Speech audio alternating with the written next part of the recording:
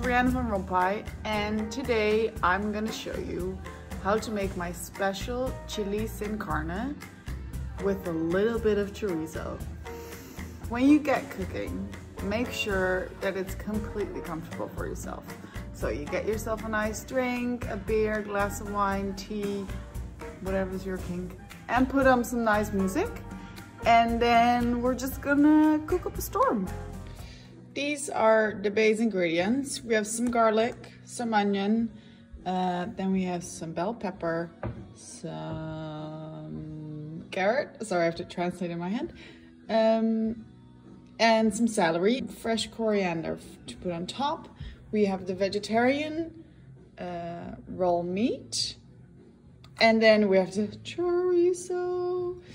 And here we have some tomato, some corn, some beans. I like to get the ones that already have a bit of a chili sauce.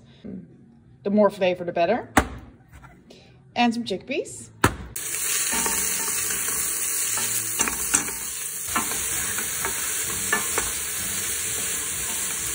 Now it's time to add some spices.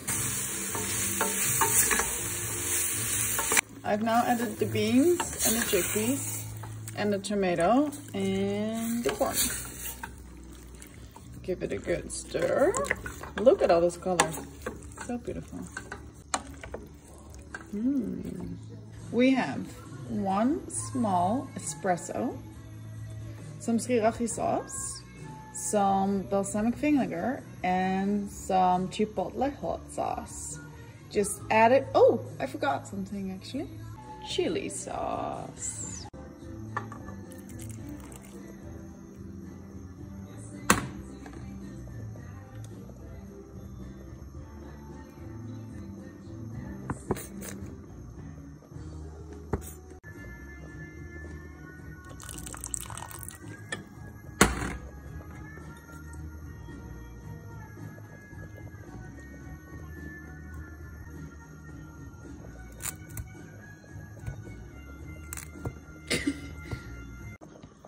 Now just let it simmer for I would say about 20 minutes.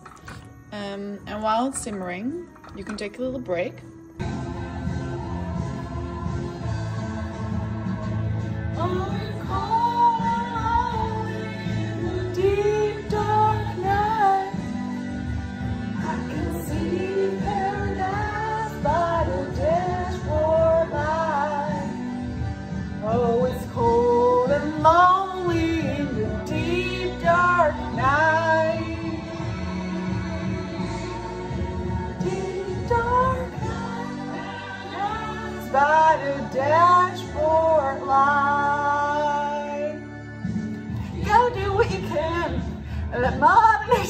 But put in the chorizo first because there's a lot of oil in the chorizo, so you can just use that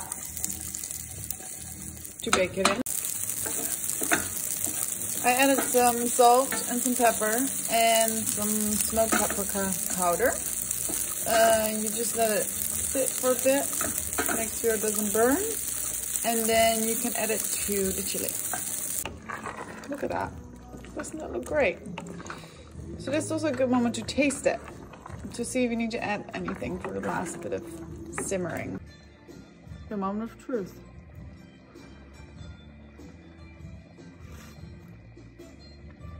Mmm.